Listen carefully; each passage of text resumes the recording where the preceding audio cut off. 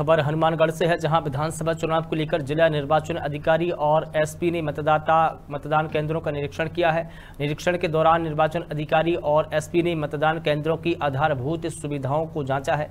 Media से बात करते हुए जिला निर्वाचन अधिकारी ने कहा कि आगामी विधानसभा चुनाव को देखते हुए बूथ लेवल पर निरीक्षण में मतदान केंद्र पर सभी आवश्यक आधारभूत सुविधाएँ, जैसे रैंप, शौचालय, बिजली की सुविधाएँ, पानी आदि की सुविधाएँ भी देखी गई है।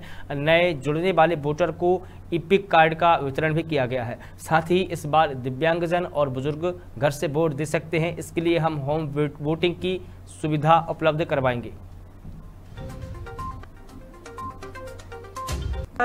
में जो कार्रवाई हो रही है इलेक्शन कमीशन के गाइडलाइंस के अनुसार, उसके तहत बूथ इंस्पेक्शन किए जा रहे हैं, जो एसपी साहब और मैं इकट्ठे कर रहे हैं। इसके अंदर हमारा जो मतदान होना है, उसके अंदर जो नए वोटर्स हैं, वो जुड़ गए या नहीं जुड़ गए सारे A M F facilities ramps electricity toilets ये सारी फैसिलिटी हैं। पोलिंग बूथ्स में कि नहीं वो जाँच की जा रही है। इसके साथ हाउस टू हाउस सर्वे जो इस बार हो रहा है उसमें बी का जो रजिस्टर है उसका संधारण किया जा रहा है कि नहीं इन मापदंडों के अनुसार आज की इंस्पेक्शन रखेंगे। विकलांगों के लिए क्या व्यवस्था है इस बार जो पीडब्ल्यूडी वोटर्स हैं या जो 80 प्लस वोटर्स हैं उनके लिए हाउस के अंदर आप अगर चाहें तो आप वोटिंग कर सकते हैं। उसके लिए जो डायरेक्शन हमने अपने बी को दे दिए हैं, उस अनुरूप हम कार्रवाई कराएँगे डिजिट में कुछ